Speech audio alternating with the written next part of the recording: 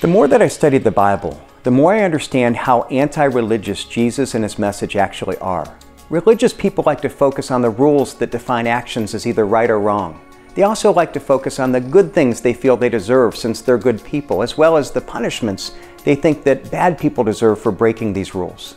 They're very concerned not only with what is right and wrong, but also with their personal rights and with justice when they feel like they have been wronged. But in the Sermon on the Mount, Jesus attacked this religious view of things and turned it on its head. He taught that a follower of Christ should be fixated not on his or her own rights and on getting justice when they've been wronged, but instead they should have the love and humility that puts other people's welfares above their own personal rights. The follower of Christ should be able to take an insult without striking back, or should be able to show love to someone, even if that person has offended them or taken advantage of them in some way. To use Jesus' words, we should be willing to turn the other cheek. Now, make no mistake, this is extremely difficult to do.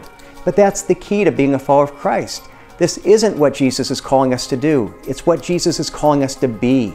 You see, if I focus on the action, I will never be able to do this. I'm far too selfish and proud.